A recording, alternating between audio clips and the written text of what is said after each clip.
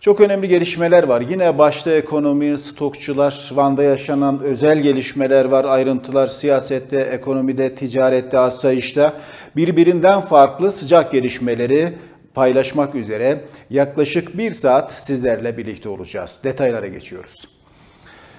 Sevgili izleyiciler, stokçular ödemeyi alıp stokta yok diyerek müşteriyi oyalıyorlar. Zam gelince de pahalıya satıyorlar. Elektronik Ticaret İşletmecileri Derneği Başkan Yardımcısı Hakan Çevikoğlu, son dönemde e-ticaret platformlarında mağazası bulunan bazı firmaların stok oyununa dikkat çeken açıklamalar yaptı.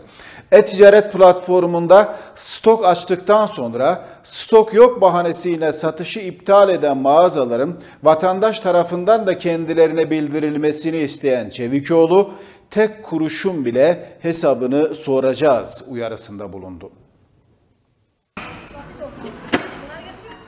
Cumhurbaşkanı Recep Tayyip Erdoğan stok yaparak fiyatların artmasına sebep olan üreticileri hem ellerindekine el koyacağız hem de cezai müeyyideleri yüksek tutacağız sözleriyle son kez uyardı.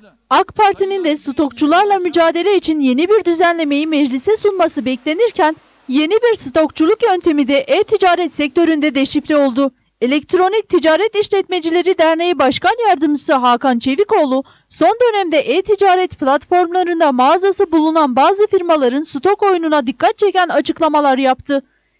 E-ticaret sektöründe bugüne kadar fahiş fiyatlar ve sahte indirimlere karşı büyük bir mücadele yürüttüklerini ifade eden Çevikoğlu, son dönemde e-ticaret platformlarında mağazası bulunan bazı satıcıların stoklar üzerinde oyun oynadığını tespit ettik.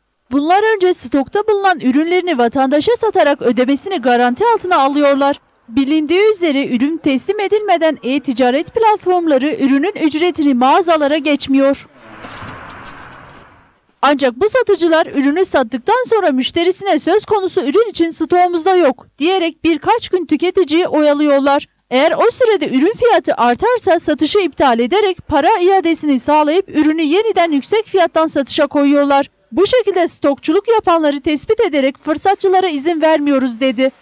E-ticaret platformlarında stok açtıktan sonra stok yok bahanesiyle satışı iptal eden mağazaların vatandaş tarafından da kendilerine bildirilmesini isteyen Çevikoğlu, tek kuruşun bile hesabını soracağız uyarısını yaptı.